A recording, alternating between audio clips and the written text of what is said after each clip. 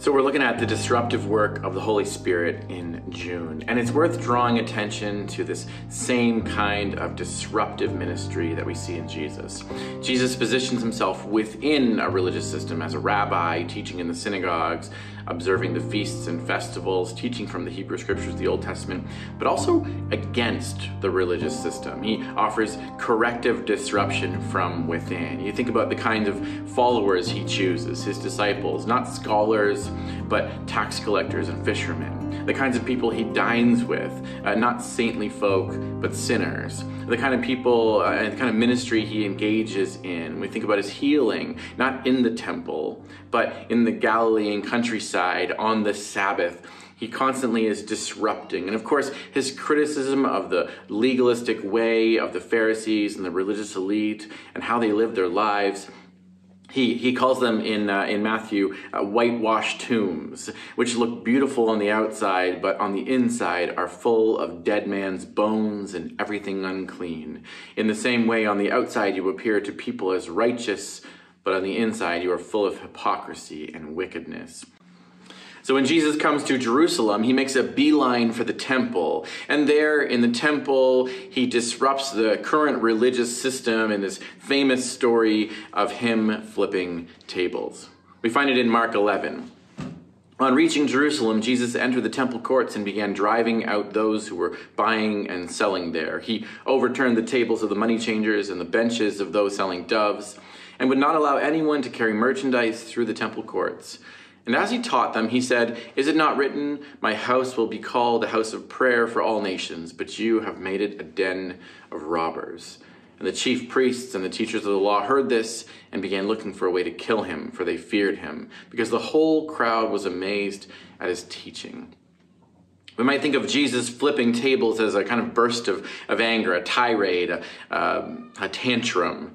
Uh, or maybe we think of our own table flipping incidents uh, when we don't get what we want, so like losing at Monopoly or Settlers of Catan and flipping the table so that nobody else can win. Or maybe we think Jesus is saying something about commerce, uh, that religion and money need to be far away from each other. Uh, N.T. Wright, a famous uh, Bible scholar and, and author, says, God is now doing something which is making this system redundant. So Jesus comes as table flipper to disrupt the current religious system and point to the changing of the tides, that God is doing something new. Pay attention. N.T. Wright continues, he says, turning over the tables of the money changers stopped for a few moments the flow of sacrificial animals which were coming in and being bought. You had to buy the animals there because if you brought a sheep from Galilee, a wolf might nip his ear on the way down, and then you'd have to go back and get another one because it wouldn't be pure anymore. He, he later adds, it's not a protest, though, against commercialization. It's a way of symbolically stopping the regular sacrificial system.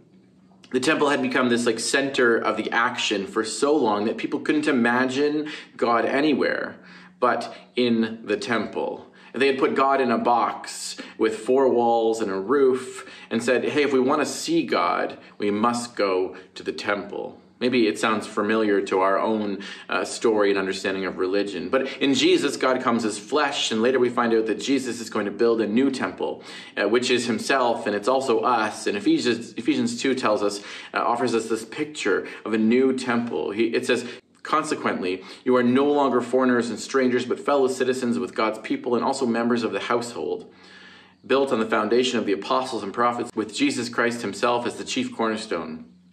In him, the whole building is joined together and rises to become a holy temple in the Lord. And in him, you too are being built together to become a dwelling in which God lives by his Spirit.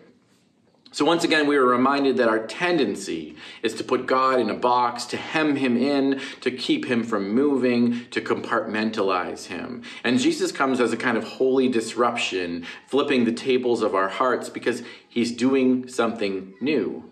N.T. Wright uh, adds later on In Jesus' day, people were looking so hard at the temple that they couldn't see that he was offering the reality to which the temple pointed. Could it be that religion has become for us another way of putting God in a box, where we locate God in a building on Sunday mornings, and that maybe God is wanting to flip the table of our hearts and break us out of that so that we can experience God all throughout the week in our neighborhoods, in our workplaces, in our local parks where we live, work, play, and pray.